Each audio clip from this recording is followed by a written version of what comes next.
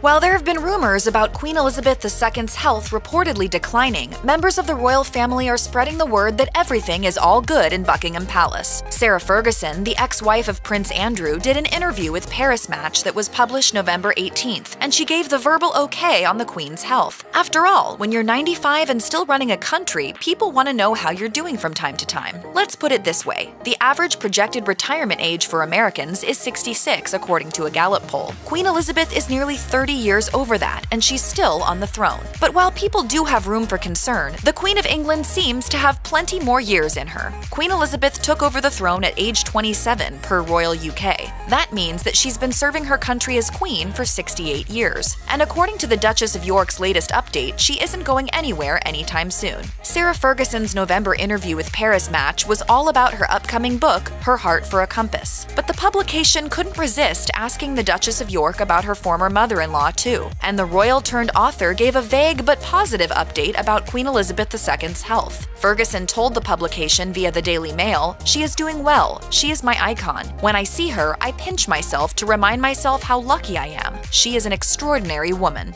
The update comes after Prince Charles, who is the next in line for the throne, gave a different update about his mother's health. Speaking to Sky News on November 17th, Charles said, Once you get to 95, it's not quite as easy as it used to be. It's bad enough at 73. Of course, it appears the prince was joking, referring to his own age as well as his mother's. But the Prince of Wales' comments still gave royal watchers pause. There was word that Queen Elizabeth was advised to stop riding horses. According to People, the Queen of England enjoys breeding, riding, and racing her horse Fern, but she was told to stop riding in September. A source told The Sun in October she was in quite a bit of discomfort. She adores riding, and it has been part of her ritual for most of her life. She has been extremely disappointed not to go riding since the beginning of September. The Sun also reported in October that the Queen wasn't able to take her beloved corgis out for walks, though it's unclear if that's still the case. What might be even more devastating than the Queen's break from horseback riding is the fact that she was also told to stop drinking her evening martinis, according to Vanity Fair. How you can tell the leader of a country to stop drinking is beyond us, but apparently it happens. Giving up martinis and horseback riding may be the most personal changes Queen Elizabeth II has had to make but the public is a bit more concerned about her having to back out of some of her public appearances and narrow down what's on her calendar. The Queen was originally set to appear at the COP26 conference in Scotland in November, but she pulled out of the appearance to focus on her health, instead delivering a climate speech via video. The Queen also sprained her back in November, fueling further concerns about her health. According to the Daily Mail, palace aides have been going through the Queen's calendar for the upcoming year to ensure only the most important outings are scheduled. Dickie Arbiter, former press secretary for the Queen, told the Daily Mail, the private secretaries have got to be proactive and ruthless and say, ma'am, you can do this, but you can't do that. You can't do everything. Still, despite word from the Telegraph that the Queen can no longer be in public alone, Prince Charles has reassured the public that his mother is doing just fine.